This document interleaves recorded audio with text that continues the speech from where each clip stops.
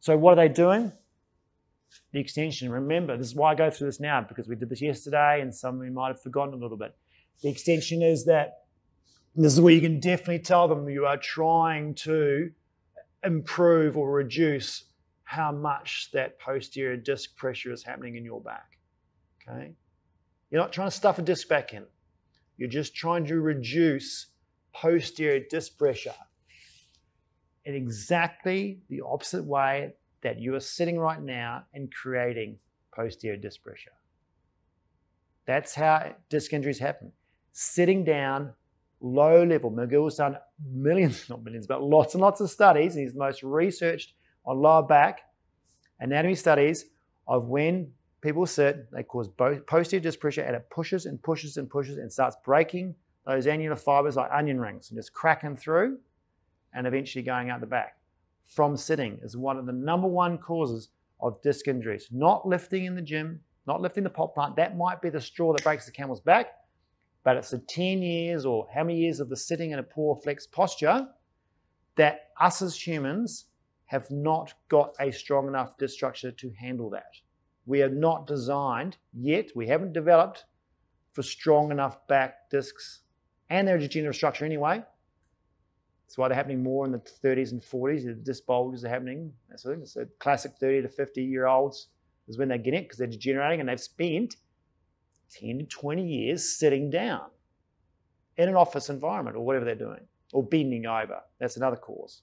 Lots and lots and lots bending over. The sitting's worse because the direct compression down, that's continuous.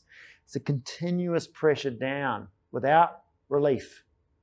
You'll find that people bend over, like brickies and stuff, don't have as many disc problems as office workers do. One, they're fitter because they're probably stronger. They've, you know, they've got better glutes and stronger backs and they can lift more still bending over, so they still have a few problems, but it's the compression down without relief is the issue. So we're trying to reverse that to, for them to recover. So therefore they can't be sitting as much. The advice is avoid sitting for long periods. How do I do that? I'm at work. Well, you're going to have to get up and go to the toilet and get a water bottle and go for a coffee or do something. Every hour. Get a standing desk is the best solution these days.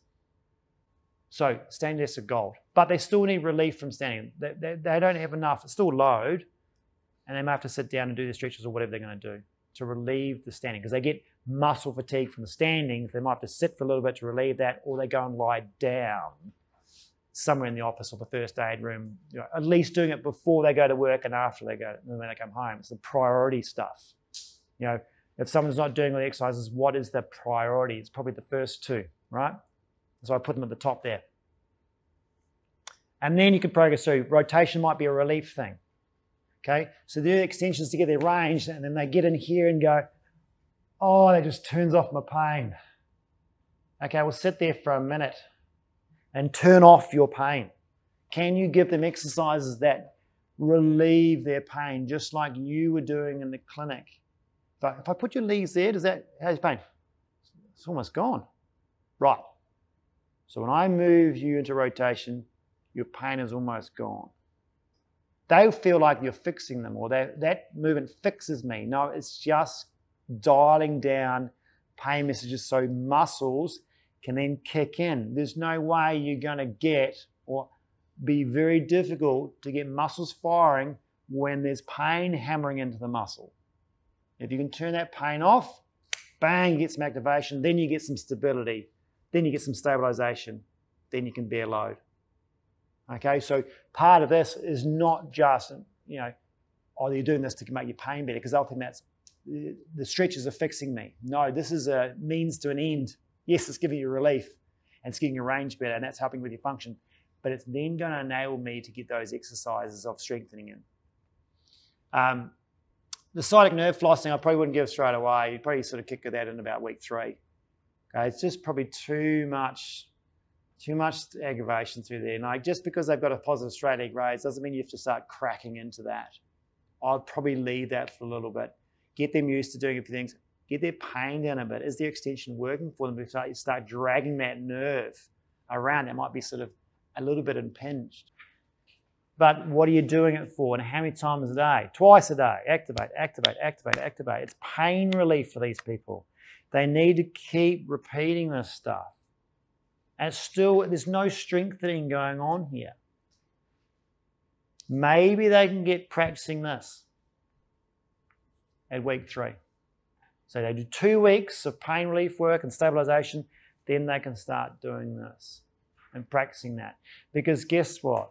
They're doing it all the time anyway. If you add, you think, well, yeah, but if I add it on now, they'll do it correctly. It might be too much load for them. They've got a sore back. They're lifting their kids anyway, whether you like it or not. At this stage, they're probably not ready for more load. Even though you want to perfect their form, it might be, well, too bad. I need to get in what's relieving stuff, this pain down, because you're aggravating all the time with lifting. I'll fix that lifting pattern later. Because if I add that on now, it's just more lifting. For, for them, it's just more load. So you've got to choose your battles.